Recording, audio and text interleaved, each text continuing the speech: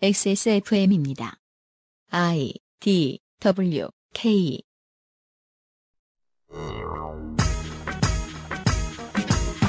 팟캐스트는 아이팟과 방송을 합해서 생긴 만들어진 지 14년 된 단어입니다. 구독해야 하지만 잡지보다 편하고 들어야 하지만 라디오보다 서비스 범위가 넓은 미디어의 이름이지요. 팟캐스트는 잡지와 달리 만드는 사람 따로 있고 유통하는 업체 따로 있습니다. 라디오와 달리 시장의 독과점을 국가가 막아주지도 않고요. 그러다 보니 생길 만한 문제가 드디어 생긴 모양입니다. 기존 언론은 이 업계에 애써 관심 없는 척을 유지해야 하니까 팟캐스트 이야기는 팟캐스트에서 해야겠네요. 2017년 5월 첫째 주에 그것은 알기 싫답니다.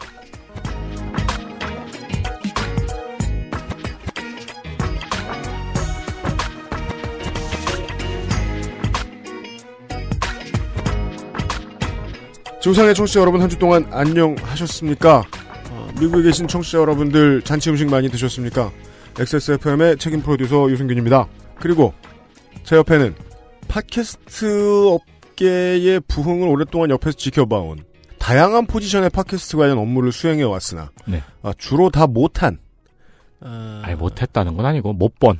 만들어낸 방송마다 아, 실패를 거듭한 아, 북한이 이제 ICBM을 쐈죠. 네. 예, 우리에게는 아, DMCI가 있어요. 뭐예요? 팟캐스트계의 똥멍청이 왜 그렇게 멸시하시는 거예요? 홍성갑 덕질인이 앉아 있습니다. 아, 나름 편집도 해보았는데. 편집할-. 편집 알바할 때, 아니요. 괜찮은 평을 받았어요. 음, 광고도 근데 만들어봤고. 그 편집계 팟캐스트 편집계에서는 그 유승균 PD님이 허들이 되게 높잖아요. 일단 저 네. 사람의 성격을 좀 죽여야 되고요. 트윗 하나 소개해드리죠. 터프 NJ님께서 초등학교 1학년 때 한글을 배우다가 선생님에게 왜 쌍이응은 없어요? 라고 질문했다가 네가 일어나서 그 쌍이응 발음해봐라 며 놀림거리로 전락한 이래 28년 만에 윤세민님 덕에 쌍이응의 존재를 확인했습니다. 제가 맞고 그 선생이 틀렸다는 확신을 얻게 되었습니다. 네, 아, 쌍이응을 개발해낸 아니 근데 다 틀린 게 쌍이응은 원래 있었고요. 네, 있었어요. 그리고 다시 발굴해낸 세종대 중세국어의 쌍이형이 있었고, 바- 세조 때 없어졌을 겁니다. 발음은 유실돼가지고 음. 모- 모르죠. 넌 몇 년? 형, 형이야, 어르신. 아니, 그 학교에서 배우지 않았어요? 쌍니은도 있어요. 한글 창제 당시부터 살아계셨던 것으로 여겨지는 윤세민 기자가 나와 계십니다. 네 안녕하십니까 이은세민입니다. 아, 그렇게, 그 발음은 아니, 아닐 거라고 하던데, 어. 오늘도 일을 열심히 하고 있습니다. 여기에 국문과만 3명. 아니 근데 진짜 그 쌍이형 발음을 방언에서 찾으려는 시도들이 있었는데 네. 뭐 결국에는 모른다는 결론이 난 것 같아요. 일단 현재 가장 유력하다고 할 수 있는 학- 학설이 그 동남방언의 네. 이, 그, 거, 거기에, 그, 발음이 쌍이형의 잔재가 아니겠느냐가 있었는데, 아, 확실치 않아요. 네. 그건 저 미국인들이 상한 음식 뭐, 저 봤을 때 하는 소리잖아요. 에요. 네. 아 혹은 저, 저, 도끼 씨가 자기가 좋아하는 걸 봤을 때 하는 소리기도 하죠. ew. 네. 장어를 좋아하는 것 같아요. 아 그래요? 그것이 장어면 내게 알려줘. 뭐 이런 노래가 있는 걸로 알아요. 아, 예, 광고를 듣고 와서 팟캐스트 얘기 오랜만에 거의 저희 처음 해보는 것 같은데 그냥 지나가는 얘기로만 떠들었고 그쵸. 그 팟캐스트란 발음은 저기 아 갑자기 성함이 생각이 안 나지? 요파 씨의? 승준이요? 예, 예. 그분이 하셔야 되는데. 안승준 그러게요. 군. 아, 네. 팟캐스트라고 해야 되는데. 어, 어떤 분들은 팝캐스트로 알고 계신 분들도 있죠. 그리고 미국에서 한국어하고 영어 오래 쓰신 분들은 한국어의 표기를 그 영어식으로 일단 읽은 다음에 그걸 느려서 쓰시는 경향이 있어요. 네. 그래가지고 파드캐스트라고 쓰시더라고요. 아 포드캐스트 이런 식이요? 네, 팟캐스트 이렇게 도, 쓰더라고요. 도트 그래서, 같은 거요. 그래서 요팟이라고 하시더라고요. 어. 네. 여튼 말하는 방식도 아직 정착이 안 된 오래되지 않은 미디어에 대한 이야기를 광고를 듣고 이야기를 해보죠. 그것은 알기 싫다는 지속 가능한 나눔 아름다운 재단에서 도와주고 있습니다. XSFM입니다.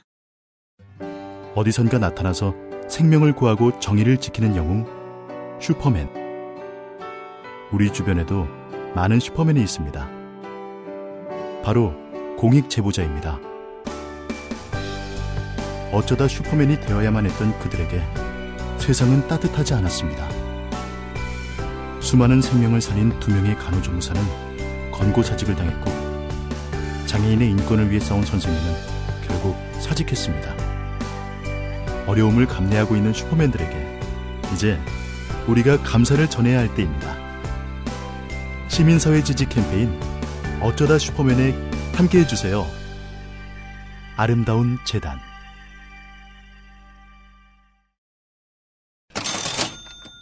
팟빵 입장에서는 이것이 독점이 아닙니다만은 많은 제작자와 서드파티 어플을 만드시는 분들께는 독점으로 읽혀질 가능성도 농후합니다. 어, 물론 지금은 광고 시간입니다.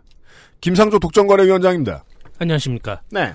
아름다운 재단이 돌아왔습니다. 아름다운 재단이 어, 6개월 만에 돌아 7개월 만에 돌아왔습니다. 광고주계의 각설이 그렇습니다. 죽지도 않고 또 온. 여기 갔다 저기 갔다. 그렇습니다. 네. 새로운 캠페인을 만들었다고 해요. 뭡니까? 바로 제목이 어쩌다 슈퍼맨. 어쩌다 슈퍼맨. 이게 어떤 거냐면은 음. 그 우리 사회가 좀 더 나은 방향으로 가는 데 있어서 가는 데 있어서 좀 중요한 역할을 하시는 분들이 계세요. 바로 내부 고, 고- 고 발자. 아, 내부 고발자. 내부 고발자. 네. 공익 제보를 하는 사람이죠. 네. 짤방으로도 많이 보셨을 거예요. 음. 뭐 유명한 분 같은 경우에는 아 유명하다고 말하기도 좀 그렇지만 음. 해군 납품 비리를 밝혔던 김영수 소령님. 그렇죠. 그리고 민간인 불법 사찰을 알렸던 장진수 주무관 네. 그런 내부 고발을 하고 난 이후에 뭐 소송에 휘말리기도 하고 네. 그리고 같은 업종에서는 또 취업이 안 되고 옛날 정부엔 죽기도 했어요. 그렇습니다. 그런 분들의 뭐 생활이라든가 음. 뭐 소송 관련 비용이라든가 예. 그런 걸 지원하는 캠페인이에요. 아, 그죠. 네, 백이 없으니 돈이라도 있어야 되는데 돈은 누가 갖다 줘? 그렇습니다. 아름다운 재단이. 이분들의 법률 상담이라든가 네. 심리 치료까지 음. 그렇게 지원을 해주겠다고 그렇게 하네요. 그렇습니다. 그리고 이분들을 도와주는 또 활동가들 음. 그분들한테도 지원을 아끼지 않겠다고 하고요. 네, 활동가 분들이 어, 자신의 재능을 기부해서 그 내부 고발자를 도와줘야겠느냐? 아닙니다. 돈 잘 받는 유능한 활동가들이 내부 고발자를 도와줘야죠. 그렇습니다. 네.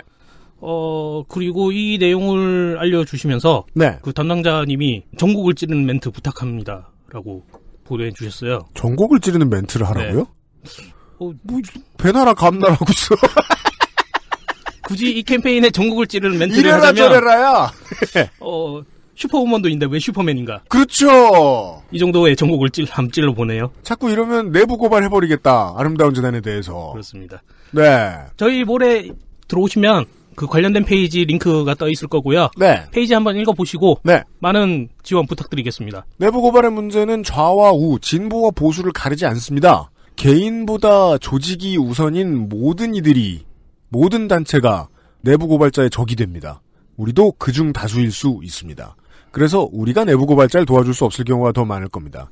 아름다운 재단이 하고 있습니다. 관심 있으신 분들은 어디로 가라고요? 엑세스몰에 오시면 네. 관련된 링크가 떠 있을 겁니다. 확인 부탁드리겠습니다. 아름다운 재단을 포털에서 검색하셔도 상관없어요. 김상조 독점거래위원장이었습니다. 감사합니다.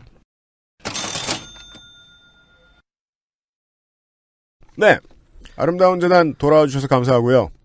무슨 뭐 백분 토론 뭐 이런 건 아닙니다. 어, 팟캐스트의 미래 어찌 될 것인가. 근데 저희들이 지금 알 수는 없거든요. 일단 발제를 들어보시죠. 초코가 코를 골고 있는 가운데. 네. 자, 지금 당신이 듣고 계신 바로 이 오디오 방송 음흠. 팟캐스트. 네. P-O-D C-A-S-T. 모를까봐. 그리고 왠지 이런 아, 나 소리 왜할 때는 그렇게 팟캐스트라고 쓰고 발음하시는 분들 보면 이렇게 답답할까? 보통 틀리거든. 이런 갑자기 저 근데 P-O-T-C-A-S-T 이러면 이제 항아리를 주조하는 행위 뭐 아, 그? 런 느낌. 그쵸, 그쵸, 그쵸. 아 실제로 그런 건 아니지만. 자, 당신, 바로 당신. 지금 듣고 계신 청취자분께서는 이 방송, 이 팟캐스트를 어떤 경로로 듣고 계십니까? 저희들이 이제 서버를 통해서 어떤 경로로 듣는지 다 알 수 있는데요. 정말 5만 가지 방법이 다 있어요. 네. 그, 제 지인은 그 아이씨를 어플로 듣고 있다는 거예요. 맞아요. 그런 게 있더라고요. 네. 오. 만들어주신 분이 계셨어요. 그, 예전에. 일단, 그런 분들도 있지만, 네. 보통, 대다수의 경우에는 아이폰이라면, 네. 팟캐스트라는 앱을 사용하시겠죠. 그렇습니다. 아이튠즈에서 갈라져 나온. 네. 공식이죠. 안드로이드라면은 이제 별도의 팟캐스트 앱을 사용하실 거고요. 서드 party입니다. 네. 그죠? 네.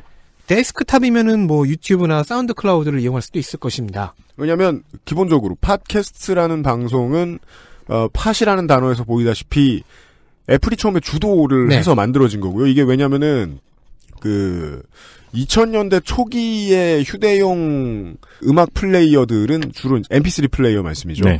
MP3 플레이어들이 라디오 수신기를 붙여서 나오는 물건들이 많았어요. 그렇죠. 자기 하드디스크에서 꺼내온 음악을 듣다 말고 뭔가 에어플레이를 듣고 싶을 때에 쓰라고 방송을 듣고 싶을 때 쓰라고 라디오를 수신할 수 있는 라디오가 붙어 있는 MP3 플레이어들이 많았고 그 기술이 발전해서 라디오 transmission으로 이렇게 그 주파수를 맞춰서 같은 MP3 플레이어 두 대가 같은 저 플레이 내용을 들을 수 있도록 하는 기술까지도 생겨난 적이 있었습니다. 우와, 그래요? 블루투스가 대중화되기 전에 무선 개념을 생각하다가 라디오를 끌어다 댕긴 경우도 있었어요. 어, 그러면은 한 MP3에서 주파수를 쏴서 쏴주는 거예요? 네. 아, 그, 저기, 저기, 저기, 초창기 그 핸드폰 블루투스 장치 중에 그런 거 있었잖아요. 음. 휴대폰이 이제 블루, 차에 블루투스 장착이 안 돼 있을 때 네. 핸드폰에 뭐를 붙이면은 라디오 transmitter가 있었죠. 네네 그걸 이용하는 기술들도 발전을 하고 있다가 결국은 모바일 인터넷 기, 기술이 발전하면서 아무짝에도 쓸모없는 기술이 되어버렸죠, 지금은? 그렇죠. 그래서 처음에는 이제 애플이 고집 부리는 거다. 뭐 이런 방송, 그러니까 방송까지 왜 굳이 MP3처럼 다운받아서 내 호스트에 저장하고 그걸 들어야 되느냐라고 답답해하는 사람들이 많았는데 결국은 우회 방식인 줄 알았던 팟캐스트라는 방식이 지금은 대중화가 완벽하게 되었고 네. 경쟁자들은 다 사라졌습니다. 네. 그렇습니다. 예. 오늘은 안드로이드에서 사용하시는 어떤 앱 이야기를 해볼 겁니다. 그죠? 아마 대단한 얘기 아니네요. 네. 네. 그리고 그 제목을 알아채게 쓰시지 않을까요? 모르겠습니다. 예, 요즘은 그, 어, 대선 전까지보다 훨씬 더 알아보기 쉬운 제목을 쓰려고 제가 노력을 하고 있는데, 오늘은 얘기가 좀 다릅니다. 저희도 좀 걸려 있어서요. 어떻게 할지 모르겠네요. 자, 아마도 안드로이드 환경 사용자분들은 매우 높은 확률로 음. 팟빵이라는 포털 서비스를 쓰고 계실 겁니다. 팟빵이라는 앱을 쓰고 계시겠죠, 안드로이드 네, 사용자. 포털이죠. 그리고 데스크탑 사용자들은 에, 팟빵이라는 사이트를 쓰고 계실 거고 수도 같은. 곳에서 서비스합니다. 그런데 다음 달인 8월부터는요. 팟빵에서 XSFM의 팟캐스트 방송을 접하지 못할 수도 있습니다. 요즘은 팟캐스트 시대와 오디오북 소라소리, 퍼펙트 25 잉글리시 팟캐스트, 그리고 그것은 알기 싫다. 물론 비단 XSFM만은 아니고 다른 기존 방송도 가능성은 있습니다. 음. 따라서 오늘의 내용은요. 청취자, 제작자 모두에게 유용한 내용이 될 것 같습니다. 아직 모르셨다면 말이죠. 아, 모르셨다면 유용할 거고요. 네. 아신다고 해서 꼭 유용, 아신다고 하면 유용하지 않을 수도 있습니다. 일단 부심은 부리는군요. 어, 팟캐스트는 이런 식으로 등록이 됩니다. 음. 어느 서버에 이제 파일을 올려요. 네. 보통 유력 언론사 정도의 레벨이 아니라면, 음. 즉 자체 서버를 갖고 있지 않다면 음. 호스팅 업체에서 임- 돈을 내고 임대한 서버에다가 자기 방송 파일을 올려놓습니다. 서버라는 건 그 물리적인 MP3 파일, WMA 파일, 오디오 파일이 올라가는 곳, 실제로 가장 많은 용량이 필요한 곳, 오프라인 가게로 얘기해 볼까요? 물류 창고입니다.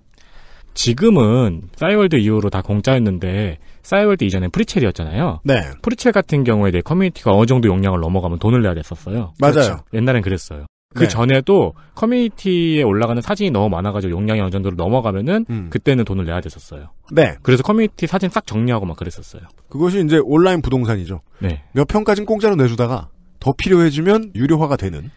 어, 오디오가 되었든, 비디오가 되었든, 파일이 있습니다. 팟캐스트 파일이 있고요. 애플에 이 파일의 위치를 비롯한 제목, 그리고 썸머리 등의 정보가 들어있는 파일을 XML이라는 형태의 폼으로 마- 만들어서 제출을 합니다.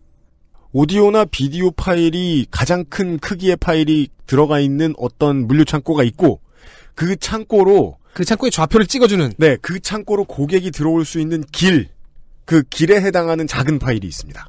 저는- XML 파일이죠. 저는 이걸 처음 알았어요. 저는 그 애플 서버에 올라가 있는 줄 알았어요. 팟캐스트 그렇지 방송들은. 애플이 공짜로 그런 일을 해줄 리가요. 해주는 줄 알았죠. 그죠? 어, 그렇게 되면 이제 애플은 물건이 어디 있고 음. 소비자에게 어떻게 연결해주면 되는지가 나와 있죠. 받았죠. 그 음. 정보를 가지고 이제 심사를 한다고 하는데 실제로 뭐라는지 모르겠어요. 네, 그 심사차 때문에 때문에 저희들이 방송 처음 올때 고생 많이 했는데 어쩔 때는 되게 빠른데 어쩔 땐 되게 느리고 2012년에 그것은 알기 싫다 처음 생길 때만 해도 5일 뒤에 문자가 와서 어, 이유를 안 말하죠. 네. 다시 올리세요. 이런 다음에 뭐 6일 더 걸리고 그랬었는데 그 퍼펙트 25 잉글리시 팟캐스트 할 때만 해도 한 이틀 음. 정도만에 가능하게 좀 빨라졌던 것 같더라고요. 아무튼 등록 심사 과정을 애플이 수행해요. 예. 그렇게 되면 이제 애플은 등록을 해줍니다. 음. 소비자가 방송을 누르면 네. 그게 자동으로 서버 서버에 있는 XML 파일에 표시되어 있는 그 위치에 있는 그 파일을 음. 다운받을 수 있게 음. 혹은 스트리밍을 할 수 있게 해주는 그 기능을 다 만들어 줍니다. 네. 그러니까 뭐 쉽게 얘기하자면 링크 되어준 거잖아요. 그렇죠. 그런데 이건 아이폰의 경우죠. 음. 애플은 애플의 아, 경우입니다. 아이폰 회사니까 음. 아이폰 사용자를 위한 이런 서비스들을 딱 개설을 해주는데 네. 안드로이드 사용자에게는 그런 게 없습니다. 안드로이드 사용자에게까지 잘 해줄 애플은 아닙니다. 그렇습니다. 네. 따라서 안드로이드에서는 외부 third party라고 하는 다른 서비스들이 생겨나게 됩니다. 그중 하나가 팟빵이고요. 네. 그런데 팟빵에는 이 XML 파일이 없어요. 음. 어느 서버에 어디에 이 파일이 존재하고 이 파일의 이름은 뭐고 summary는 뭐고 제목은 뭐고 이런 정보들이 없습니다. 그래서 이 파일의 내용을 RSS feed의 형태로 애플로부터 받아오게 됩니다. 네. 개발자가 아닌 이상 어려운 단어들이 많이 나오고 있습니다. RSS feed, Really Simple Syndication 혹은 Rich Site Summary, 컨텐츠 공급 방식, 컨텐츠 공급자의 소식을 구독자가 자동으로 수집할 수 있도록 해주어 구독자가 공급자의 사이트를 방문하지 않고도 최신 정보를 얻게 돕습니다. 뉴스 기사, 책이나 논문의 발행 내역, 인기 블로거의 포스팅, 기관이나 회사의 공지사항 등 이용 범위는 점점 넓어지고 있으며 팟캐스트 역시 RSS feed를 활용하는 대표적인 미디어입니다. 현재 가장 널리 쓰이는 RSS의 표준인 RSS 2.0의 저작권은 하버드 대학교가 보유하고 있습니다. 근데 이 팟캐스트 같은 경우가 처음부터 컨셉이 그 RSS를 무한으로 제공하는 게 그렇죠. 컨셉이었죠. 맞습니다. 오픈 소스였죠. 네. 그러니까 팟캐스트가 사람들을 만나는 가장 중요한 매개 그러니까 기술. 팟캐스트 기술의 주인공은 RSS feed예요. 그렇죠. 예. 이 RSS 피드를 우리 회사에서 담당해 주는 것이 이제 김상조 RSS 피드 위원장이고요. 그렇죠. 그리고 옛날 싸이월드의 주 기능이 퍼가염이었던 것처럼. 네. 네. 팟빵에서 그것은 알기 싫다를 서비스하려면은 애플로부터 그 RSS 피드를 받아와야 되는 것이죠. 반대의 경우도 사실 마찬가지입니다. 팟빵의 서버를 이용하고 팟빵의 XML을 제출한 방송이 있을, 거- 있을 수 있죠.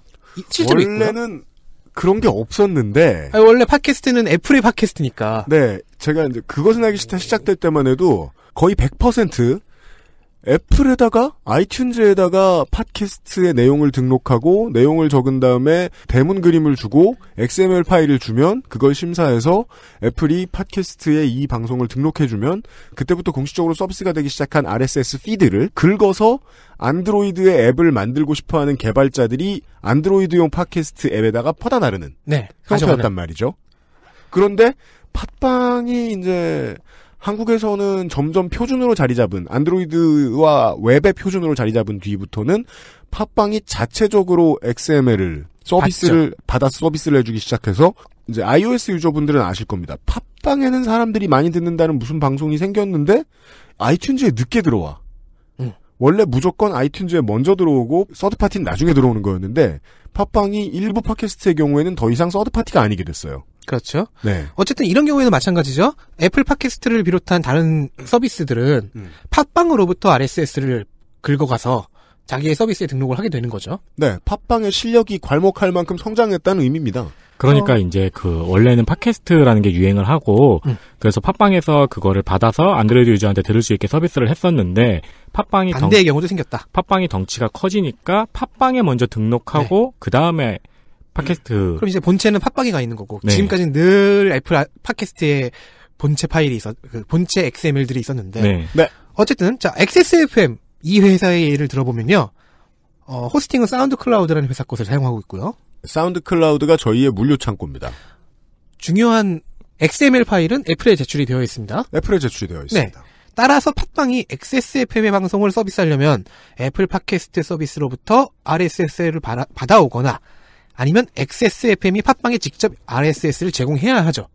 그렇습니다. 근데 물론 그런데 RSS라는 것은 오픈 소스이기 때문에 뭐 누구나 가져갈 수 있는 거니까요. 네. 야, 이건 사례입니다. 네. XSFM은 아이튠즈를 제외한 그 어떤 곳에도 따로 저희가 RSS를 제공하지 않습니다.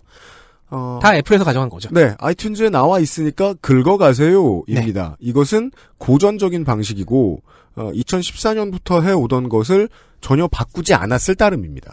그리고 요즘 팟빵 오리지널이라고 하는 방송들 경우에는 아까 말한 그 반대의 경우죠. 음. 팟빵이 RSS를 발행하는 입장. 네. 네. 그리고 7월 1일 팟빵은 새로운 공지를 내걸었습니다. 음. 윤세민 기자? 네? 읽어주시죠. 아, 딴 생각하고 있어가지고.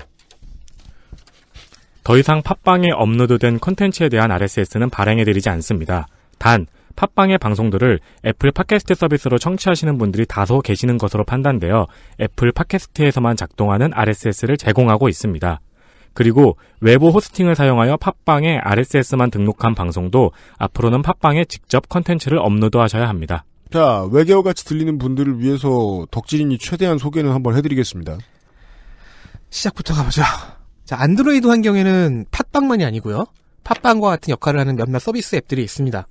어, 마켓에 가보셔서 팟캐스트라는 검색어를 만약에 그냥 한번 쳐보셨다. 내가 팟캐스트를 들으려고 앱이 필요해서. 그러면 아마 첫 번째로 나오는 게 팟빵이겠지만 말고도 수두룩하게 나오죠? 어, 팟캐스트에는 라디오 어딕트, 음. 어, Podcast Republic, Pocket Casts, AntennaPod, 뭐 이런 좋은 앱들이 있는데요. 한국 환경에서는 쥐약이라는 서비스가 대표적입니다. 쥐약 역시 팟빵만큼 긴 역사를 가지고 있는 네. 어플인데 최근에는 서비스를 접는다는 얘기를 들었는데요. 뭐그 이건 이야기가 나중에, 지금 예, 한- 예. 오늘 한 얘기죠. 네. 어, 가장 많은 팟캐스트 목록을 바- 보유하고 있다고 음. 이게 쥐약이라는 어플의 강점이라고 하는데 하지만 이제 이런 서비스 앱들이 팟빵에서 발행하는 RSS를 받지 못해요. 음. 이 공지에 따르면요. 그래서 아까 말씀드린 대로 팟빵 오리지널 방송들은 이제 팟빵도 third party였는데 이제는 좀 덜 서드 파티가 된 거죠. first party가 되어 삼자가 아닌 이제 완전 관계자가 네.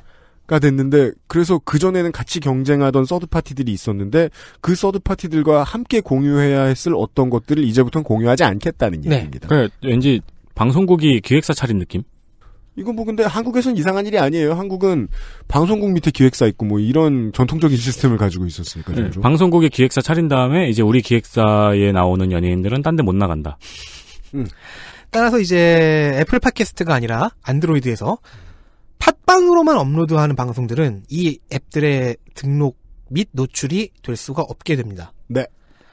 AntennaPod이나 쥐약, 뭐 Pocket Casts 이런 것들을 이용하시는 안드로이드 사용자는 지금 저희가 녹음 중인 이 방송이 업데이트된 것을 어쩌면 벌써 음. 팟빵에 가서야 알 수 있을지도 모릅니다. 최소한 8월부터는 그렇게 될 것입니다. 그럴 수 있습니다.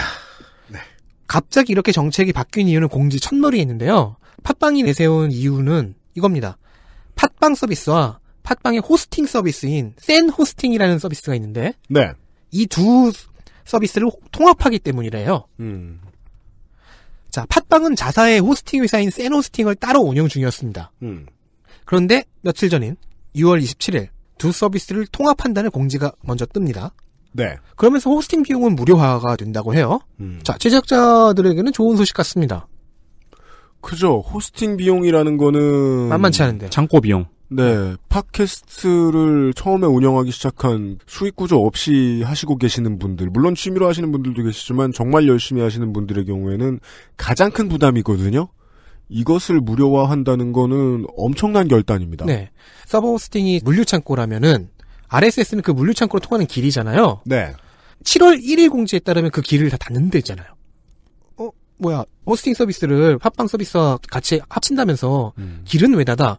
무슨 인과관계가 있는지는 잘 모르겠습니다. 그죠. 물류 창고는 공짜로 해주고 우리 물류 창고를 쓰면 우리 물류 창고로 가는 길은 다른 데선 못 와. 네. 이게 무슨 소리냐? 그런데 공지에 있는 다른 내용을 보면요. 음. 이 인과관계가 중요하지 않다는 걸 알게 됩니다. 그래요. 외부 호스팅을 사용하여 팟빵에 RSS만 등록한 방송도 앞으로는 팟빵에 직접 컨텐츠를 업로드하셔야 합니다.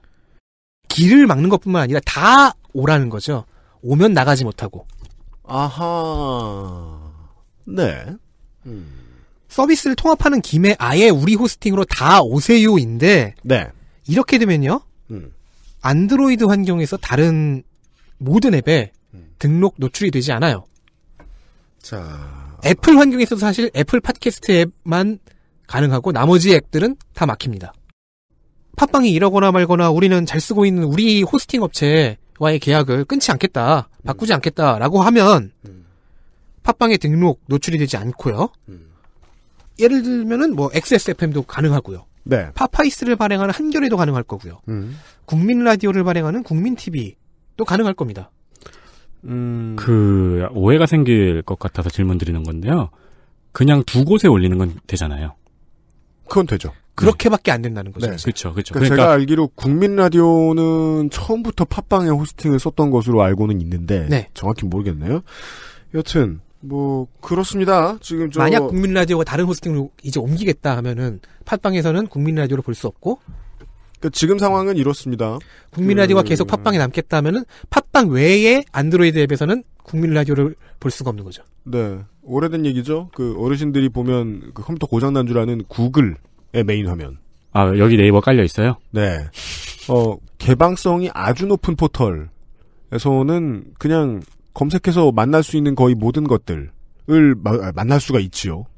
근데 우리가 가장 비근한 예로는 이제 뭐 그 블로그 서비스 독점권 어느 정도 인정해야 블로그를 자기 신신 운영할 수 있는 블로그 서비스.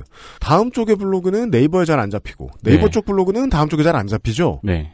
그래서 서로 반대쪽 포털에 들어오는 사람에게도 자신의 콘텐츠를 노출시키고 싶으면 블로그를 두 군데를 운영해야 하거나 할 수도 있습니다. 콘텐츠를 만드는 사람들은. 네, 네. 일단 그렇죠. 최소 그래야 하고 그 의미는 즉 사람들이 많이 들어오는 트래픽을 많이 가지고 있는 게 강점인 유통업체가 생산자에게 독점권을 행하려 하는 것 같다. 정도까지만 말씀을 드렸습니다. 그렇습니다. 그런 얘기고요. 그것이 이제 지금 어, 팟빵의 이야기에 따르면 한 달의 유예 기간을 두고 8월부터는 전면 시행이 된다는 겁니다. 광고를 듣고 좀 더 자세한 얘기를 좀 예, 나누어 보죠. 그것은 알기 싫다는 용산의 숨은 보석 컴스테이션에서 도와주고 있습니다. XSFM입니다. 용산에 있는 사람들은 컴퓨터 전문가지 내 컴퓨팅 환경까지 전문가는 아니니까 문의하실 때 저희를 신뢰하지 않는 고객들도 많이 만나 뵙습니다. 하지만 업무, 학습, 게임을 하실 때 당신이 느끼실 답답함과 어려움은 알고 보면 CPU와 쿨러의 궁합, CPU와 메인보드의 상성, 램, 셀 레벨, 내장 사운드 카드의 드라이버 버전 등에 따라 나타나는 결과일지도 모릅니다. 혹은 팬 쿨러를 뒤집어 끼웠는데 아무도 모르고 몇 년이 흘렀을지도요. 011-892-5568로 전화 주십시오. 당신의 삶에 생각보다 많은 부분이 바뀔지도 모릅니다. 컴스테이션은 조용한 형제들과 함께합니다. 돌아왔습니다. 그냥 세상 돌아가는 얘기를 들으려고 혹은 심심해서 정말 심심한 사람들을 위한 팟캐스트들 요즘 많이 개발되고 있잖아요. 요파 씨요? 아, 요파 씨도 그렇지만 그 뭐냐 라면 봉지 뒤쪽에 있는 거 읽어주는 뭐 그런 팟캐스트도 있고. 아, 그치. 이름이 뭐였지? 여섯 글자였는데. 까먹었어요. 오디오 뭐 네. 뭐였는데? 수면제인가? 아, 뭐 아무튼 훌륭한 컨셉이더라고요. 네. 예. 그 오디오. 좋은가 봐. 그 거의 모든 사람들에게 그 프로그램 제작과 창작의 권한을 내주다 보니까 아, 아주 멋진 아이템들이 많이 나올 수 있는 플랫폼이거든요. 네. 예. 근데 저희들은 지금 그 창작 환경을 말하는 게 아닙니다. 그걸 유통 유통해주는 플랫폼을 얘기하는 거죠. 예. 그래서 그 플랫폼은 사실 청취자 여러분들이 관심 가지실 거 없잖아요. 그냥 들으면 되지. 있으면 들으면 되고 예를 들면 팟빵이 뭐 팟빵이 뭐 앞으로 다음 달부터 팟빵에서 서비스되던 절반의 방송들이 사라졌어. 그럼 어때? 그냥 거기 있는 것도 들으면 되잖아. 그렇죠. 팟빵만 쓰고 있는데 나는 편의성이 제일 우선이고 그 다음은 그럼요. 큐레 이션이겠죠? 네. 청취자분들한테는 그다지 중요한 일이 아니기 때문에 일반 청취자 여러분들께는 다만 이제 댓글을 열심히 달고 이 플랫폼의 생활 밀착도가 좀 높으신 팟캐스트 제작하시는 분들도 저희 방송 듣고 계신 거 알고 있는데 그런 분들한테는 아주 큰 관심사라서 저희들이 저희들이 아니죠. 제가 아, 성가비가 하는 말을 듣고 최대한 에, 수위를 어떻게든 조절은 해볼게요. 뭔가 말을 막 써왔어요. 제가 막 불같아요. 막 들어보시죠. 아, 일단, 의도는 대충 보이죠? 이 모든 정책의 의도가. 좋은 의도다. 아주 선한 의도다. 아, 쥐약과 같은 다른, 저희를 이끄시는 네. 목자와도 같다. 다른 안드로이드 서비스들은 이제 고사시키고, 네. RSS를 안 주면은, 이, 이 서비스들은 직접 그 제작자들과 컨택하는 방법밖에 없는데 네. 그러면 이제 사실상 고사죠. 그러면은 팟빵만이 안드로이드 환경에서 유일한 팟캐스트 서비스가 된다. 라는 것입니다. 그렇게 읽힙니다. 애플에선 여전히 긁어올 수 있잖아요. 아니요, 애플에서만 쓸 수 있는 걸 준다고 했잖아요. 음, 음, 음. 애플로 들어갔을 때부터 이미 숨겨지는 거죠. 그래요? 어, 어쨌든 팟빵은 이미 아- 상당 부분 청취자들을 독점하고 있어요. 음. 압도적 1위, 1위입니다. 네. 그 압도적 1위가 할 수 있는 전략이기는 합니다. 독점 시도라는 것은요. 아, 네. IT 시장에서는 압도적 1위는 이런 전략을 선택하죠. 네. 그러니까 내가 하고 싶어 하죠, 보통. 내가 65%야. 나머지 35%를 더 취할 수 있는데 취하지 않기는 또 어렵습니다. 기업 입장에서는. 그렇죠. 네. 그 취하지 않으려고 하면 회사에서 누가 잘리죠. 그렇습니다. 그리고 보통은 정부가 그걸 막죠. 일반적인 그렇죠. 경우는. 네. 하지만 아, 그- 방송법이나 네. 이 상법에 특별히 그 정의가 되어 있지 않은 상품으로서의 팟캐스트 음원은 아, 그렇죠. 지금 정부가 독점 거래를 제재할 수 있는 수단이 없습니다. 제가 보기엔. 음. 네. 아직 법령이 음. 정비가 안돼 있죠. 독점이라고 판단하기가 애매할 거예요. 그러니까 법적으로는 독점이 아닐 수도 있죠. 왜냐면 그걸 판단할 법적 기준이 없으니까요. 그러니까요. 어, 어쨌든 이 독점 의도가 드러나는 7월 1일의 발표, 음. 이 정책이 당장 적용이 되는 것은 아니고, 음흠. 아까 말씀해 주셨듯이 7월 말까지만 팟빵 외부 RSS들을 받아와 주겠다. 음. 그러니까 그 전에 외부 호스팅 쓰시는 분들, XSFM, 음. 팟빵 계정 만드시고, 팟빵에 업로드를 하세요. 쉽게 말해 최후 통첩입니다. 네. 네. RSS는 안 내주고, 8월 1일부터는 RSS를 수입하는 것도 끊깁니다. 즉, 팟빵이 하고 있는 것은 RSS 쇄국 정책. 쇄국 정책. 네 글자라 줄이면 내거 하자. 아, 저는 흥선대원. 네 글자니까 이상. 그러니까 아니 세곡 정책이 네 글자잖아. 뭘 줄여 네 글자로? RSS 쇄국 정책이라고. 어, 일곱 글자야. 어, 일곱 칠음절이라고. 손이상 선생식으로 말하면 하응 하응. 아, 귀엽다. 그리고 RSS 세곡 세곡 정책은 아홉 음절이죠. 아니죠. S가 원래 한 절이에요. 그것도 어른 식으로 아루. 아루 SS. 아, 자, 이러면은, 어, 저희 같은, 음. 어, 제작자들의 머리가 상당히 복잡해집니다. 그렇습니다. 제작자들의 컨텐츠들로 넘쳐나는 사이트인데 제작자들의 견해는 전혀 반영이 되지 않은 채로 이제 제작자들은 죽을 목숨이 된 사람들도 있어요. 네. 팟빵이 배팅을 걸어온 거죠. 음흠. 대응을 해야 돼요. 근데 그 배팅이 all or nothing. 뭐 아니면 도. 음흠. 전부 아니면 전무. 음. 자, 안드로이드 환경에 한, 한해서요. 팟빵에만 들어올래? 아예 팟빵을 잃을래?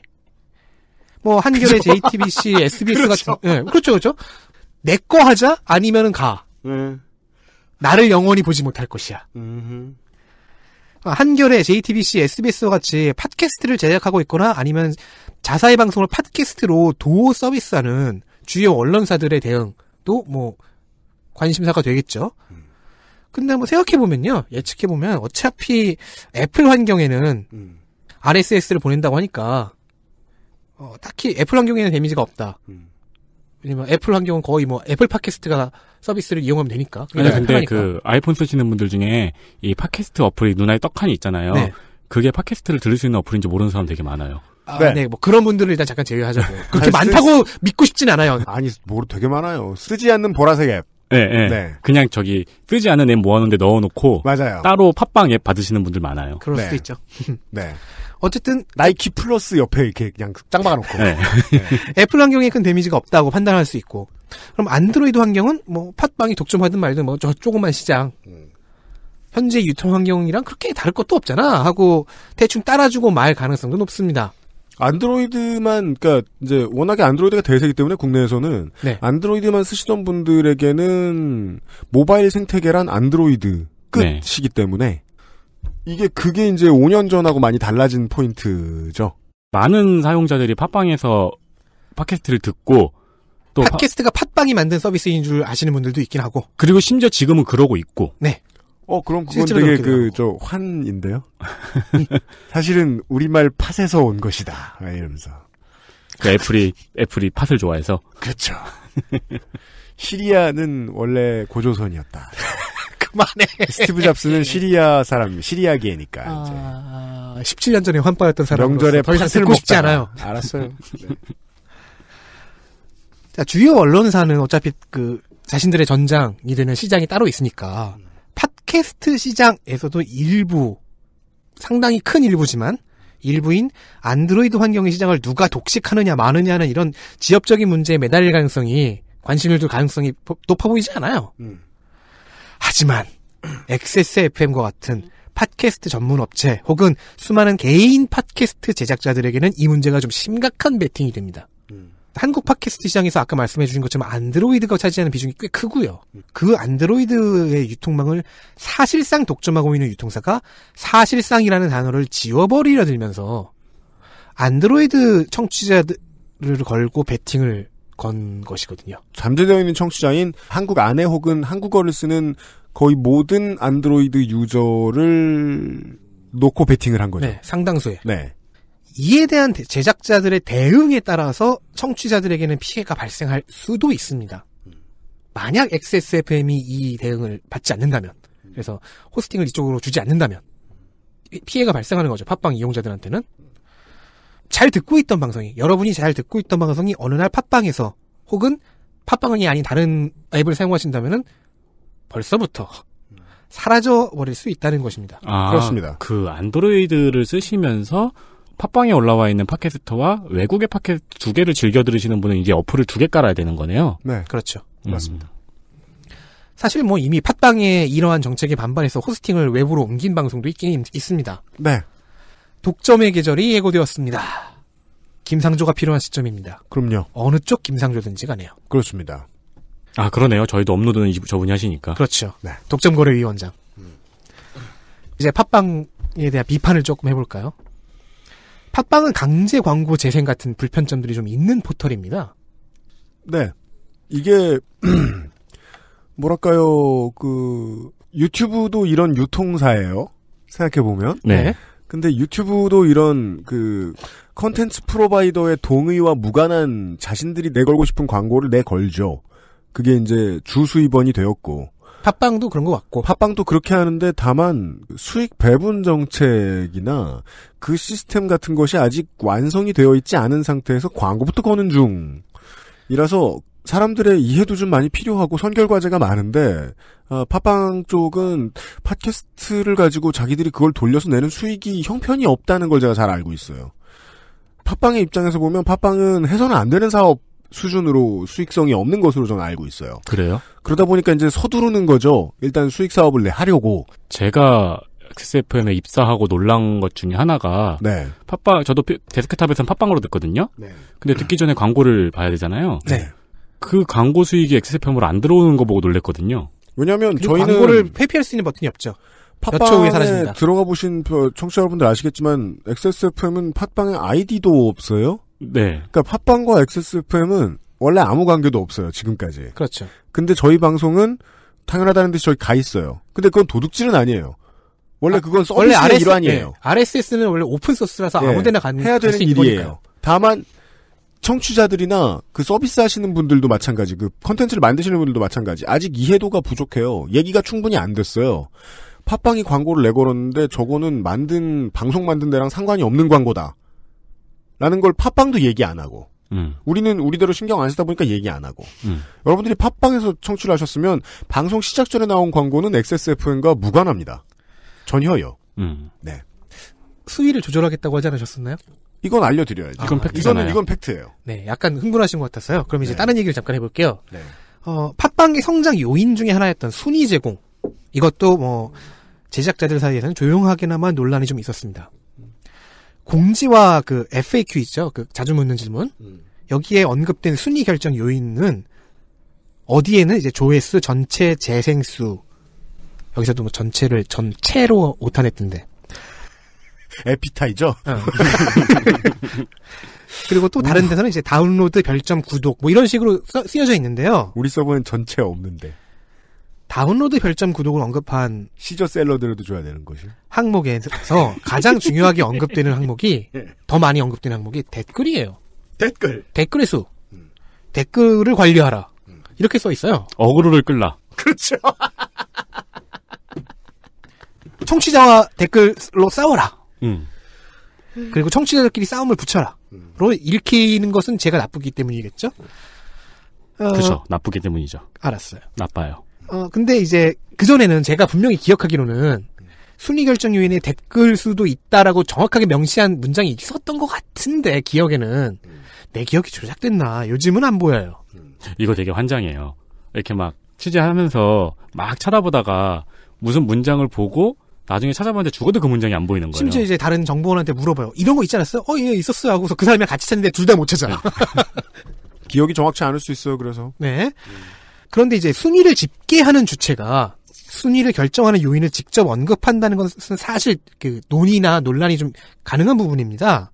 순위 결정을 하는 그 방정식이 있을 거 아니에요?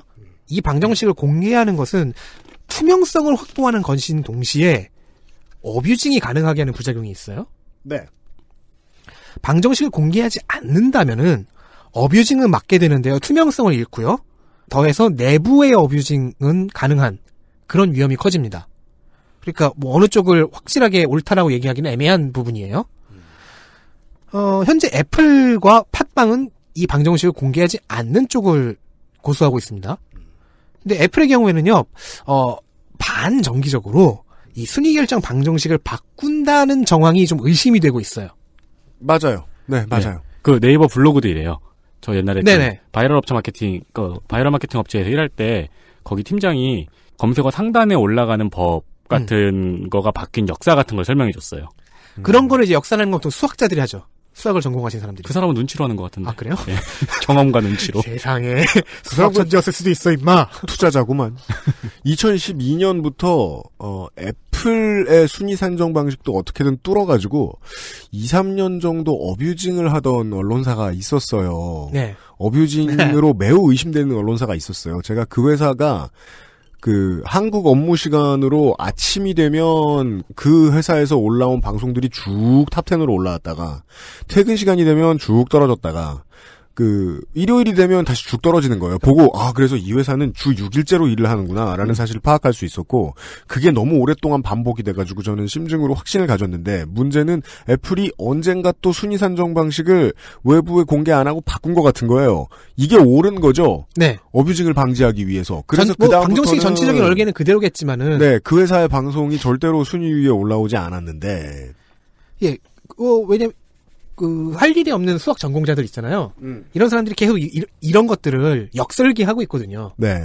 근데 해서 아 이거인 것 같다 유력한 방정식을 딱 내놓으면은 어 뭐 한 다음 달 다음 주쯤에 뭐 바뀌어 있고 그게 할 일이 없는 수학자들이라고 말씀하셨는데 옛날에 할 일이 없는 사람들이 하셨는데 지금은 그게 돈이 됩니다. 그렇죠. 지금은 그 이게 이제 이- 할 일일 수도 있죠. 그렇죠.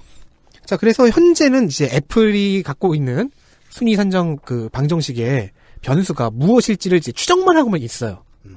어, 이전 대비 청취율의 증감일 것이다 뭐 이런 식으로요. 네. 애플은 철저히 숨기는데 팟빵은 댓글이 변수에 포함된다는 거를 이제 많이 묻는 질문에서 노출해 버렸습니다.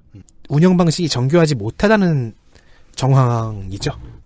이것은 이제 우리가 정황만 가지고 판단할 수밖에 없는데 제가 이제 뭐 내부자로서의 얘기를 좀 드릴 수 있을 것 같아요. 이건 내가 이제 얘기를 해보고 음. 자를지를 결정할게요. 몇 달 전에 어, 팟빵 측으로부터 제가 전화를 받았습니다. 현재 지금 서비스가 되고 있는지 모르는 모르겠는데 모 라디오 방송사에 저희의 팟캐스트를 즉 그 알씨를 서비스를 해달라는 요청이었습니다. 팟캐스트 쪽 사업에 그 라디오 방송국들이 관심이 워낙 많다 보니까 이런 제안도 언젠가 올 줄은 알았지만 아무튼 방송사에서 왔더군요. 근데 방송사의 요청을 팟빵이 저에게 전달하는 것도 좀 특이하긴 했었습니다. 야, 기성세대는 팟캐스트라는 게 팟빵이라고 생각하고 있구나. 라는 묘한 점이 있었어요. 방송국 측이 요구했는지 팟빵 측이 요구했는지 아무튼 저에게 전달된 요구사항은 이랬습니다. 저희 서버에 그것은 알기 싫다가 올라가기 전에 자기들 방송에 먼저 전파를 타야 한다. 전 그게 부당하다고 보지 않았습니다. 장사할 때는 그 정도는 지를 줄 알아야죠. 즉 저희가 목요일 뭐 2시에 업로드가 된다면은 거기는 뭐 수요일에 올리든지 월요일에 올리든지 해라. 네. 요런 요청 사항이었어요. 그리고 팟빵에서 벌어들이는 혹은 그 방송국에서 벌어들이는 그 광고 수익의 일부를 배정하겠다. 근데 그 일부가 어느 정도인지는 얘기를 못 들었고요. 얘기를 안 해주더군요. 그건 뭐 디테일이니까요. 네. 그리고 그 얘기가 끝나자마자 저는 그 담당자분 다시 한번 통화하고 싶은데 그 얘기가 끝나자마자 순위 얘기를 하시는 거예요. 팟빵 순위. 네. 그래서 전 들으면서 묘했죠. 아, 나나 신경 안 쓰지. 다들 거기에 그걸 되게 중요하다고 여기시나 보다. 그럼요, 당연하죠. 그런데 이제 그 순위를 결정하는 요인 중 꽤 큰 것으로 추정되는 게 댓글 수라. 아, 네. 그, 그건 사실 방송 만드는 어떤 분들한테도 요- 얘기 많이 들었어요. 댓글에 답글 많이 달아주면 순위는 확실히 오른다라는 믿음을 가지고 계신 분들 몇 분 제가 접했어요. 근데, 사실 그것도 되게 좀 우스운 일인데, 전 세계인이 모두 동등하게 들어야 하는 플랫폼을 그냥 소꿉장난으로 전락시키겠다는 뜻 같아서 저는 가오 죽어서 진짜 너무 싫은데, 여튼, 순위 걱정을 저 대신 해주시더라고요. 그분이, 팟빵에 계시는 분이 PD라고 하셨던 것 같아요. 그러면서 순위가 걱정이시라면 순위는 여차저차 저차저차 해서 어, 다운로드 수를 뭐 어떻게 어떻게 해드립니다. 좀 두루뭉술한 단어들을 쓰시는 거예요. 그래서 음. 무슨 소리야? 이게 조작해 준다는 거야? 싶어서 나름 다시 정중하게 여쭤봤습니다. 아 그러면 다운로드 수에 허수를 배정해 주신다는 뜻입니까? 대답을 잘 안 해주셨어요. 음. 근데 순위가 걱정되시면 순위를 어떻게 해드립니다라는 뉘앙스까지는 확실히 전달됐거든요, 저한테.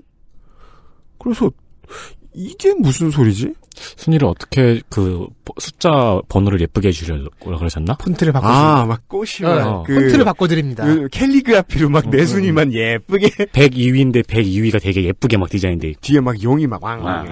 저작권이 붙어 있는 굉장히 예쁜 캘리그라피 폰트로 바꿔드립니다. 몰랐는데 아무튼 순위를 어떻게 해준다는 말까지 듣고서 와 그냥 제 느낌은 그거였어요. 선악을 따지기 전에 시장이 상당히 많이 왜곡되어 있는데 그 이유를 지금부터는 좀 알아봐야 되겠다는 생각이 들었어요. 그게 이제 올해 몇 달 전의 이야기인데요. 작년의 이야기였어요? 작년이었나요? 네. 아 기억나요? 네. 작년이었나? 꽤 됐구나. 바빠가지고. 여튼 그 그런 일이 팟빵과 제가 있었어요. 그게 팟빵 측과 제가 접촉한 거의 한 몇 년 만에 처음이었던 것 같아요. 경험이었던 것 같아요. 음, 잘릴 확률 80% 봅니다. 여튼 그 다음은 RSS 아, 어, 네. 네, 어, 뭐- 그, 그 제가 이제 이 방금 했던 얘기를 자를지 말지를 고민해야 되니까. 예. 광고를 듣고 와서 나머지 얘기를 좀 해보죠. 그것은 알기 싫다는 더 편해진 마지막 선택 평산네이처 하루니아 C3G에서 도와드리고 있습니다. 물론 평산네이처야 이 그 아주 오래된 그 아실에 시작됐지만 아주 오래된 팟캐스트에 워낙 큰 손이시다 보니 그렇죠. 저희가 팟빵에 사라지셔도 어디선가 광고를 들으실 수 있을 거예요. 이분들이 갑질을 할 수 있을 텐데. 그니까 말이에요. 우리 광고주들이 힘이 없어서 되게 광고사 사장으로서 어, 면목이 없어요. 광고주 여러분 저 대신 힘내세요. 근데 아니, 그래도 몇년 동안 그렇게 놀려먹고. 힘은 누구들이 알아서. XSFM입니다. 하루 건강, 하루 한 포, 하루 세 알. 하루의 건강한 습관, 하루니아. 평산네이처. 그 제가 아로니아진 사장님을 딱 한 번 뵌 적이 있어요. 네. 나름 그래도 이 업계에서 엑스트라로 조연까지 조연이라고는 참말 못하겠다. 엑스트라로 여러 해 굴러 먹었는데 처음 뵌 거예요. 네. 아 이번 기회에 그냥 인사라도 좀 드리자. 네. 이렇게 건너 건너 아는 사이인데 같은 직위를 알고 있는 사이인데 이렇게 안면이 없을 수도 없잖아. 하고 이렇게 가서 안녕하세요. 제가 홍성갑입니다. 이렇게 하니까 되게 놀라시면서 음. 아니 왜 저를 아는 체하고 그러세요? 무섭게 어, 부끄러워요. 그런 것 같은 느낌이었어요. 아, 네네. 그때 느꼈죠. 아 진짜 착하신 분이구나. 아. 아니요, 그런 뜻은. 그쵸. 갑질은 못하실 어. 분 같았어. 멀쩡하게 생겼낼 수도 있고. 아니죠. 세상에 이렇게 생겼을 줄은 몰랐다. 아, 이것도 사자성어로. 입만 뭔데. 진짜 어, 후더 헉 이즈 디스였을 것이다. 그랬나? 이리 봅니다. 여튼. 돌아왔습니다. 네. 아, 예, 뭐, 팟빵이 포털로서 상당히 허술하다라는 얘기를 쭉 하고 있었는데요. 독점을 한다면 이 허술함이 좀 감춰지거나, 어, 보완할 수 있는 여력을 얻게 될 수도 있죠. 독점을 통해서. 네.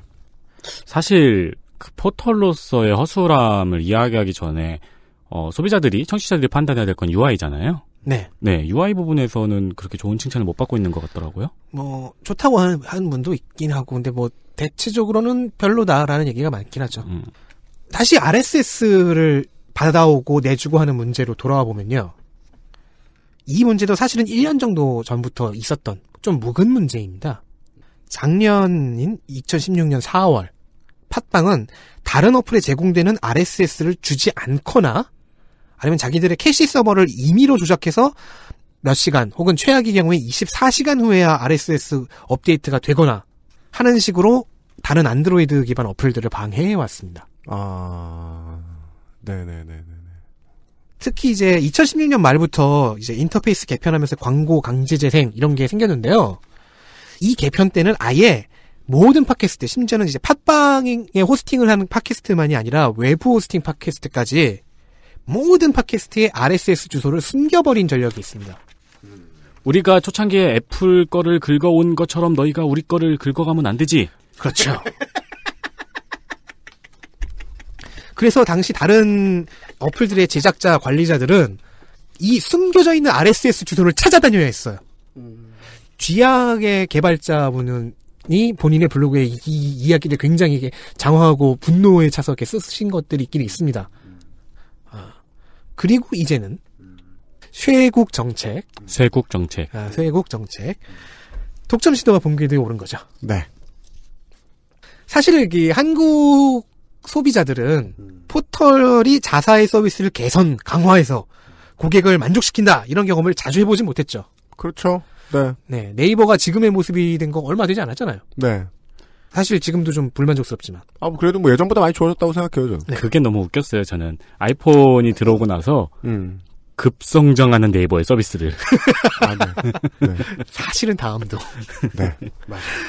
어, 지금까지 한국인들은 팟빵에 이제 강제 광고가 나오고 이런 걸 보면서 아, 이거 분명 유튜브처럼 광고 제거나 광고 회피 서비스를 팔겠지라고 나이브하게 생각했었습니다. 음. 하지만 현실은 언제나 한 걸음 더 나가죠.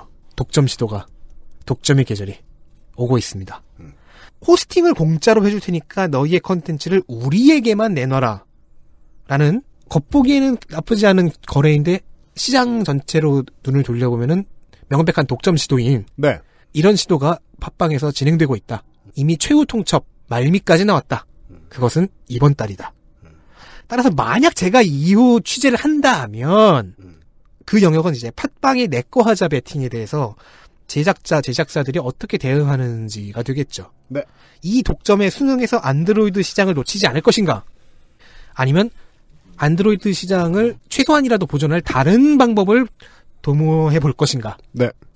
독점에 수능해서 안드로이드 시장을 놓치지 않는다는 표현도 쓸 수 있겠지만 음. 아까 말씀드린 것처럼 제작자가 양쪽에 업로드할 수 있잖아요. 아, 그러니까 안드로이드 청취자를 배려한다는 개념으로도 생각할 수 있죠.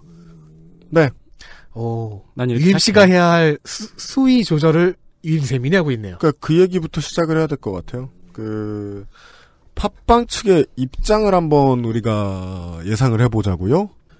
팟빵은 지금 기껏해야라고 생각할 수 있어요. 기껏해야 우리가 요구하는 것은 제작자들이 우리하고도 거래를 트는 것이다. 음. 예를 들면 XSFM이 팟빵에 지금 아무 일도 하고 있지 않은데 팟빵이 우리의 방송을 서비스해주고 있잖아요. 네. 우리한테도 아이디 하나 터가지고 서버 하나 터서 우리한테도 방송을 올려주세요. 라는 뜻이에요. 기껏해야 그 정도인데 그걸 뭘 독점이라고 하느냐. 우리한테도 음. 서비스하면서 다른 데도 서비스 하다 보면 다른 안드로이드 앱하고도 우리가 경쟁을 할 수 있지 않겠느냐. 우리는 경쟁 구도를 깨는 것이 아니다. 라고 생각할 수 있고 그리고 저희 같은 이 업계에서 큰 회사들은 뭐 23평입니다만 큰 회사들은 초코의 코골이 소리가 크죠. 내가 돈 벌어가지고 다 네 뱃속이다. 그, 아, 저희 같은 회사들은 이것을 정치 구도로 보면 안 되고 소비자들을 먼저 생각해야 되는 게 맞아요. 맞아요. 이대로 지금 팟빵이 진행한다면 저희는 더 많은 서비스를 위해서 할 수 있는 걸 다 할 겁니다. 그렇죠. 청취자들한테는 손해가 가면 안 되니까요. 그렇죠. 다만 그러네요. 그- 청취자분들에게도 손해가 가면 안 되고 광고주분들에게도 음. 다만 제작자들이 말이에요. 팟빵이 느끼기에는 기껏해야 아이디 하나 더 만드는 것이지만 제작자들에게는 자유의 구속이고요. 또한 가장 심하게 지금 어, 상도에 맞지 않는다고 보이는 부분은 결국 나머지 서드파티 앱을 제작하는 제작자들의 가능성을 짓밟는 경우가 될 수 있다. 요것이 가장 답답한 부분일 것 같아요. 제가 팟캐스트다 보니까 답답한 부분이 있습니다. 수사를 이렇게 써야 돼서. 제가 그냥 멀쩡한 다른 언론사, 언론사에서 뭐, 일을 하고 있는 사람이라면 그냥 제보를 받습니다. 잃어버리면 되는데, 제 태도를 궁금해 하실 테니까, 저는 이걸 가지고 무슨 협회를 조직해서 협회장이 돼가지고 막 정치적으로 싸우겠다 이런 생각 하나도 없고요. 다만, 팟빵은, 깨끗한 플랫폼이 아니에요. 컨텐츠를 주고 그것을 드리는 것에 보람을 느끼는 이 과정 속에서 가장 중요한 역할을 하는 이 플랫폼으로서 팟빵은 깔끔하지 못해요. 디자인이요? 불편하기도 하고 그 어, 과정이 플랫폼이면 유통 과정이 좀 사람들이 쾌적하게 모여서 무언가를 할 수만 있게 해줘야 되는데 자꾸 어딘가로 우리를 끌고 가요. 음, 맞아요. 이거는 전통적인 낡아빠진 지방 이제 중소도시의 시 같은 데서 관 같은 데서 하는 그런 서비스 같은 느낌이에요. 공정성과 투명성을 가지고 시장을 확장시키려는 생각이 아주 아주 부족해 보여요. 그래서 이 문제로 XSFM은 전 별 타격 없을 거라고 생각합니다. 말고 아, 큰 타격을 받고 계시거나 이제까지 팟빵에 잘못된 정책이 있어서 그것 때문에 손해를 보신 경험이 있으신 분들 방송 제작자도 좋고 앱 개발자도 좋습니다. 제보를 기다립니다. xsfm25 골뱅이 gmail.com 혹은 저희를 검색하시면 나오는 전화번호도 있고요.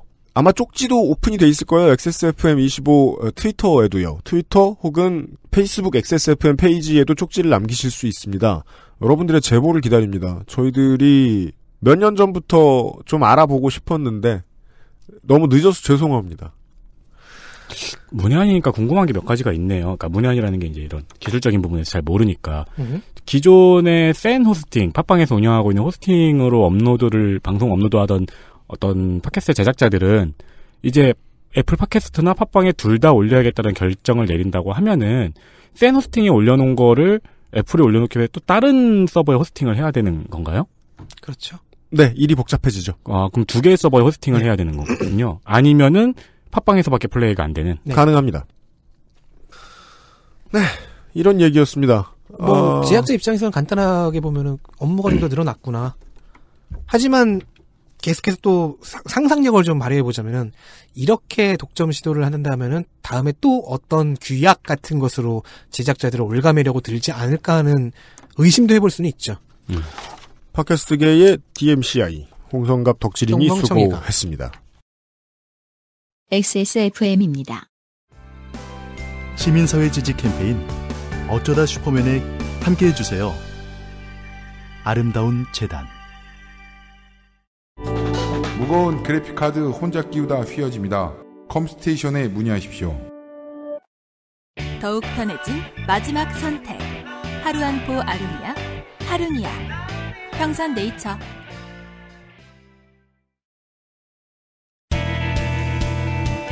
뉴스 라운드업 History in the making. 뉴스 라운드업 시간입니다. 저는 에디터 왜 윤세민입니다. 네. 저는 왜 가지 못하고 있는 건가요? 내가 열어주면 나가. 난 네, 이 방- 안녕하십니까. 난 이 방의 팟빵이야. 근데 RSS는 뭐의 약자예요? 안드로이드가 설명해주지 않았을까요? 이상순인가? 네, 안녕하십니까. 윤세민입니다. 주차장 공간이 넓어졌습니다. 호레이! 세상은 이렇게 바뀌어요. 네. 28년 차장 만입니다. 공간이 넓어졌습니다. 원래 넓었던 게 좁아졌다고 하네요. 90년도에. 1990년도에. 맞습니다. 그래서 1990년대 초까지만 해도 이 건축법 바뀐 걸 모르고 좀 넓게 해서 만든 그 주차장들이 있었어요. 네. 그게 우리 사무실이죠. 아. 아, 주차할 때 너무 좋아요. 근데 2000년대에 지어졌다. 그러면 이 서커스를 좀 해야죠. 차 뺄 때. 그렇죠. 예, 내가 뭐 옷가게 사장님이야. 땡리발 큰 걸 타야 돼. 음. 아 주차할 때 각오해야 됩니다. 그러니까 현재 주차 기준이 2.3m입니다. 네. 근데 여기서 20cm가 늘어나게 되고요. 그럼 2.5m가 되겠죠? 네. 그리고 확장형 칸이 또 따로 있더라고요. 주차 공간 중에. 음. 이건 2.6m였는데 네. 이것도 10cm 늘어나면 2.7cm가 되겠죠? 네. 네. 이렇게 주차장 공간을 늘리는 이유는 중대형 차가 늘어났기 때문이라고 합니다. 음흠. 근데 이게 앞으로 새로 짓는 건물에만 적용이 되니까 체감하시려면 시간이 좀 더 필요하시겠죠? 그렇습니다. 10년 정도? 네. 그러니까 우리가 체감학을 하기 위해서 새로 지은 건물에 입주하시라는 게 아닙니다. 네. 가끔 놀러 가세요. 기분이 아주 쾌적해질 거예요. 그러면 자기 집에 와서 기분이 아주 더러워지잖아요. 아, 그건 그래요. 여튼, 어, 지금 이제 2000년대, 2000년대 초반과 90년대 말에 지어진 건물에 계시는 여러분들, 어, 기둥 뒤의 공간을 잘 활용하시고요. 다음 소식은 뭡니까? 한미 정상회담이 있었죠. 네. 주요 내용만 간단하게 말씀을 드리자면 북핵 문제에 대해서는 북한과의 대화를 원한다는 문 대통령의 의지를 트럼프 대통령이 존중한다고 했습니다. 네. 그리고 전자권 전환을 조속히 가능하도록 협력하겠다 했고 그래서 언론과 정치권에서는 주도권이라는 표현을 많이 썼습니다. 네. 그런데 한국에 돌아오자마자 북한이 미사일을 쐈죠. 그렇습니다. 물론 이 주도권이라는 단어가 말이에요. 박근혜 정부의 외교에서는 별로 나온 적이 없습니다. 네. 왜냐면 뺏겼다. 이렇게 말하면 끝이기 때문에. 그렇게 말할 수가 없기 때문에. 우리 것이 아니다. 천조국을 상대로 주도권이라는 단어를 꺼낼 수 없기 때문에 네. 감히 네. 여튼. 네, 근데 이제 미- 북한이 음. 주도권은 이런 것이다 하면서 미사일을 쐈죠. 그리고 방위비 분담에서 트럼프가 공정한 분담이 이뤄지도록 하겠다고 음. 내년 있을 내년에 있을 분담금 협상에서 인상을 시사하는 발언을 했습니다. 음. 또한 FTA 같은 경우에는 뻔히 재협상 얘기할 걸 우리나라 정부에서도 잘 알고 있었죠. 네. 그래서 준비를 잘 해간 느낌입니다. 그렇습니다. 잘하고 왔어요. 네. 국내로 얘기할 것 같으면 이제 문재인의 정치 엔터테인먼트는 이렇게 풍성하다라는 걸 국내에 과시를 하고 그 미국에 할 수 있는 걸 하는 만큼 북한과의 관계에 대한 주도권을 가져오겠다 정도. 뭐 쉽게 말해 이명박근혜 정부가 퍼준 거에 대한 대가를 문 대통령이 받아오는 그림을 만들어내려고 애쓰고 왔습니다. 문제는 이제 사드에 대해서 이렇게 협조적인 자세를 보여준 다음에 이번 주말에는 시진핑을 만나러 가야 됩니다. 네. 뿌찐을 봐야 돼요. 그리고 이번 주에는 ICBM인 거죠, 지금. 오늘 저 저희 녹음할 때 포털을 보니까 ICBM이 뭐가 이제 그 그그 뭐냐 포털의 검색 순위에 왜 원래 그 사자성어 나올 때는 그게 뭐 이게 제일 많이 나오잖아요. 그렇죠. 금치산자가 뭐 이러면서 되게 치사한 사람인가요? 옛날에 와리스터 EU가 올라온 적 있잖아요. 브렉시트 수표할 때. 이유. 여튼 우리 저 김강진 의원하고 지난 한 달 동안 했던 얘기에도 그 답이 좀 숨어 있습니다. ICBM은 자꾸 만약에라는 단어를 쓰죠. 이 ICBM에 대해, 북한의 ICBM에 대해서. ICBM이 만약에 여러모로 성공적이었고 완성된 단계다라면 북한은 이제 어엿한 미국을 위협하는 나라 이런 식으로 얘기를 하는 거란 말이에요. 아주 멀리나 쏠 수 있는 미사일이라는 뜻입니다. 가까이 타격하는 데에는 낭비인. 안보 환경을 위하여 제가 지금은 걱정할 필요가 없다라는 말은 하지 않아 보겠습니다. 미국을 향해 쏠 확률은 매우 낮거든요. 그러니까 미국 본토로까지 날아가는 미사일이란 뜻이잖아요. 네. 그게 중요한 이유만 추려서 생각을 한다면. 네. 그리고 미국은 스타일상 발사대에 누가 접근하는 것 같다. 버튼을 누를 것 같다. 그러면 선제 타격으로 북한을 쑥대밭으로 만들어 놓긴 만들어 놓을 겁니다. 그렇죠. 근데 이제 그거를 우리가 당장 할 거야. 막 mad 박사, mad 박사가 대결하고 있어. 그거 말고 군비를 누가 얼마나 더 쓰고 그걸 써서 무엇을 어디에다 갖다 박느냐에 대한 싸움. 군비 경쟁의 싸움의 주도권을 북한이 가져가는 문제다. 그리고 이거는 중국 믿고 하는 짓이다. 중국은 모르는 척하고 있다. 그래서 이제 문재인 대통령을 만나면 북한이 이런 것까지 하고 있다. 왠지 논리적으로 맞아 보이진 않지만 사드 언제 치울 거냐? 라는 질문에 힘 정도 실어준달까요? 네. 그럼 북한이 쏴서 못 치운다라고 할 수 있잖아요. 저 봐라. 그죠. 문 대통령이 그러, 그랬으면 좋겠는데. 아마 에, 그렇게 나올 수밖에 없겠죠. 네. 어, 대통령 외교하는데 아주 아주 큰 숙제를 안겨줬습니다. 북한이. 다음 뭡니까? 2018년도 최저임금을 결정하기 위한 회의가 열리고 있습니다. 네. 이 합의는 매년 쉽지 않았죠. 늘 뭐 법정기한 넘기고 11차, 12차 막 이렇게 넘어갔었죠. 맞습니다. 현재 노동계는 1만 원, 사용자 측은 6,625원을 주장하고 있습니다. 네. 웬일로 올해는 동결이 아니고 상승을 제안합니다. 이것이 전선을 잘 그은 효과입니다. 매년 사용자 측은 동결부터 시작했거든요. 네. 또한 사용자 측은 업종별 최저임금 차등 적용, 인상분에 대한 정부의 임금 보전, 노사 간 자율합의 보장 등을 요구하고 있습니다. 그러니까 예전에는 그냥 동결하고 말았는데 네. 이번에는 사용자 측이 어, 인상도 인상이고 이렇게 디테일한 요구안들을 준비를 했어요. 네. 그러고 보니까 예전에 사장님들끼리 모여서 사장문 만든다고 했었잖아요. 그냥 사장몬이라 그러니까 처음 잡았을 때는 멀쩡하다가 나중에 진화할 것 같은 그런 느낌이 들죠. 네. 사장문이 지나요. 회장문이 되었다. 그거는 아직 안 만들었나 봅니다. 네. 사장몬이나 쌍천국은 안 만들어진 것 같고요. 긴 이야기를 보면 민주통합당과 그 새정치민주연합의 국회의원들 중에 이제 온건파들이 있어요. 네. 그 온건파들이 부르짖는 것에는 어떤 맹점이 있었는가를 좀 얘기를 해봅시다. 어, 대표적인 온건파로 예, 광명의 국민의당의 이현주 의원 같은 사람을 더 꼽을 수 있습니다. 물론 요즘 들어 밉상 취급을 당하고 있긴 한데 그죠. 그 재벌 정책에 있어서는 나름은 무서운 정치인이었습니다. 지금도 그렇습니다. 이현주 의원 같은 샘플이 많습니다. 제일 이런 문제에 발언 세게 하는 사람은 뭐 박영선 의원 같은 사람들도 있을 수 있고요. 음. 왜냐하면 재벌은 정말 이상하고 한국에만 있는 기형적인 거니까 해체를 해야 돼. 그건 맞아. 근데 국가 구성원 전체가 만든 부는 어떻게 제대로 놔줄 것이냐 하는 데에는 좀 미온적이에요. 음. 아주 위법적인 거는 깨부술 생각이 있는데 그렇다고 지금의 구조를 아주 혁파하고 싶진 않은 느낌이랄까요? 이걸 어떻게 얘기할 수 있냐면 그 이현주 의원이 최근에 그 해가지고 이상한 저 뭐냐 욕 많이 먹었던 심포지엄 있죠? 네. 거기에서 보면 그 중소기업의 사장들이 최저임금을 가로막 막 가로막고자 하는 가장 중요한 무기로 들고 나오는 게 이제 자기들이 무너지면 혹은 네. 자기들이 저지하지 못함 이걸 저지하지 못하면 인플레이션이다. 음. 그래서 이게 무기가 된 거예요. 기업들의 최저임금 함부로 올- 올리면 우리는 인플레이션을 만들어 버리겠다, 조장해 버리겠다. 음. 라고 이야기를 하는 거예요. 그냥 생각해보면 맞는 말 같거든요? 근데 잘 뒤져보죠? 그러면 수년간 정경련이 하던 소리예요. 이게 무슨 뜻이냐? 프랜차이즈 본사나 대기업에게서 뜯을 생각을 안 하겠다는 소리입니다. 네. 맞아요. 그러니까 만 원은 두려운 일이라고 손희상 선생이 얘기해줬잖아요. 네. 지금 6천 원 받는 사람들한테. 그럼 이렇게 얘기하자고요. 협상은 도안이 뭐로 하면 안 되죠. 솔직히 8천 원할수 있지 않느냐. 음. 이렇게 받아야죠. 그럼 그 8천 원 어떻게 올리냐고 이야기를 하면 그때 김상조가 나서야죠. 정부의 김상조. 위에서 뜯어내려야죠. 우리 김상조라는 줄 알고. 가장 기본적인 아이디어를 지금 뒤로 감춰놓으려고 애쓰고 있어요. 위에서 뜯으면 된다. 그건 사실 처음에 이야기했던 노동당도 민주노총도 헛소리 한 거 아니에요. 너무 과격한 소리 한 거 아니에요. 위에서 뜯으면 된다. 중소기업 사장님들하고 자영업자가 죽는 거 아니다. 라는 걸 정부가 보여줘야죠, 이제. 네. 네, 그간의 정부는 그런 그럴 의의를- 이유가 없었습니다. 그렇죠. 주도권을 행사하려 하지 않았습니다. 네. 이것과 관련된 이야기가 마지막 소식이군요. 네, 미스터 피자가 갑질 때문에 논란입니다. 네. 그 갑질을 한 주요 내용은 가맹점을 탈퇴하고 새로 피자 가게를 차린 점포 인근에 원래 인근의 점포라고 써 있는데 오타가 나서 윤세민이 은근해. 은근이라 은, 은근한 참 점포. 은근히 점포 아니 은근히 오타 많이 내요. 물론 미스터 피자 입장도 그렇죠. 은근히 옆에다 점포를 하나 더 차리자. 네. 그 옆에다 점포를 차려서 거의 3분의 1 가격으로 영업을 하고 음. 뭐 피자를 사면 돈가스를 얹어주는 등 말도 안 되는 그 퍼주기 영업을 한 거예요. 그 근처 영업장에서 네. 어 그런 식의 보복을 했고요. 네. 그리고 가맹점에 공급되는 치즈를 중간에 자기 아내 명의의 회사를 하나 끼워서 부당이득을 챙긴 혐의입니다. 이건 대기업 모델이죠 한국에.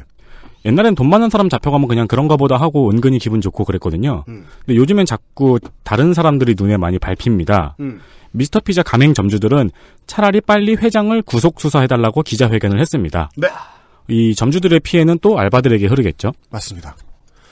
물론 알바 노조도 이 문제로 고민을 하고 있고 네. 정치력을 잘 행사하는 단체니까 하고 있을 텐데 지금 미스터 피자와 관련해서 가장 희망적이어 보이는 부분들은 점주들이 뭉칠 방법을 점점 더 구체화시키고 있다는 겁니다. 음. 그래서 향후에는 이 프랜차이즈는 조목조목 이거 하지 마라 저거 하지 마라 공정거래위가 나서가지고 하는 건 노동력이 너무 많이 들어요. 네. 점주들의 조합을 허용해줘야 됩니다. 그쵸. 이게 가장 시사해주는 바가 크다고 생각해요. 이게 호식이 두 마리 치킨의 경우도 그렇고, 음. 어, 미스터 피자의 경우도 그렇고, 최근, 뭐, 지- 지금 오늘 난 얘기죠? 총각내 야채 가게. 이 총각내 야채 가게가 지금, 지금 말씀드린 세 케이스 중에서 가장 악질인 걸로 보이는데, 이걸 막을 수 있을 만큼의 힘은 결국 점주들이 조합을 맺어서 단체 교섭을 시도할 수 있는 실력을 정부가 주는 쪽 네. 이쪽이 힘을 제일 덜 쓰는 부분 같은데 일단 미스터 피자의 점주들이 그 신호를 보냈거든요. 그렇죠. 네. 옛날 점주들은 사실 발만 동동 굴렀거든요. 네.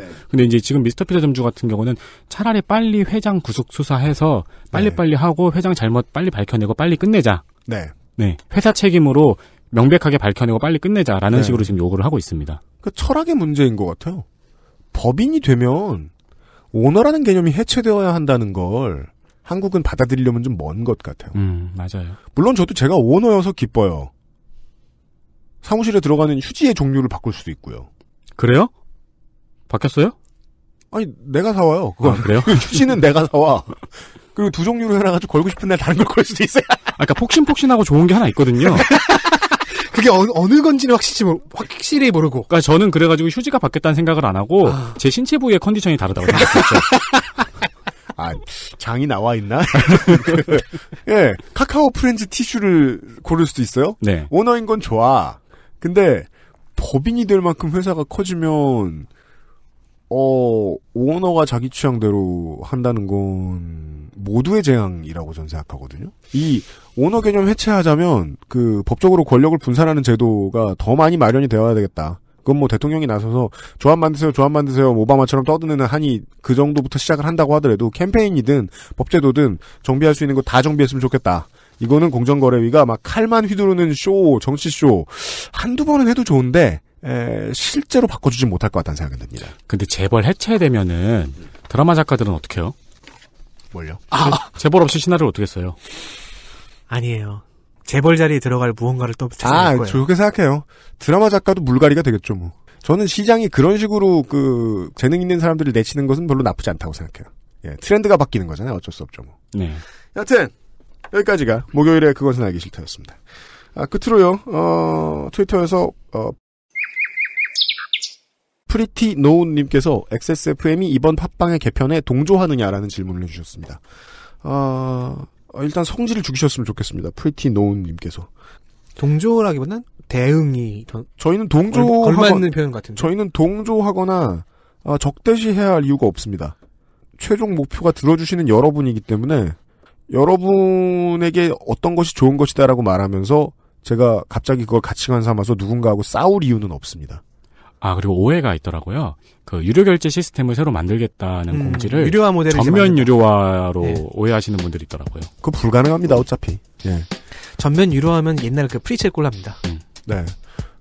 그 한 가지 제가 희망스럽 희망을 가지셔도 좋겠다고 제작자 여러분들이나 이런 분들에게 말씀드리고 싶은 건 만약에 이게 헛발질이라고 치죠. 큰 회사들은 애드벌룬을 띄워야 되기 때문에 이 정도 공지를 내보내 본 다음에 음. 반응이 너무 안 좋을 것 같으면 내릴 수도 있어요. 한 달 사이에 팟빵은 지금의 생각을 바꿀 수도 있어요. 철회할 수도 있고 그렇지 않는다고 해도요. 새로운 미디어는 사람들의 삶 속에 스며들면 회사 한두 군데 헛발질로 무너지진 않습니다. 예. 낙관론은 아니고요. 그렇게 되도록 많은 구성원들이 노력도 할 거라는 뜻으로 받아들여 주십시오. 그리고 하면 될 거라고도 생각합니다. 계속 주시하겠습니다. 제보를 기다립니다. 유승균 PD와 홍성갑 덕질인과 윤세민 기자였습니다. 내일 이 시간에 뭐죠? 아, 재난. 내일 이 시간에 네 어, 새로운 코너, 어, 새로운 호스트와 함께 인사드리겠습니다. 물론 진행자는 저입니다. 안녕히 계십시오. 안녕히 계십시오. 누구 나와요 내일? 아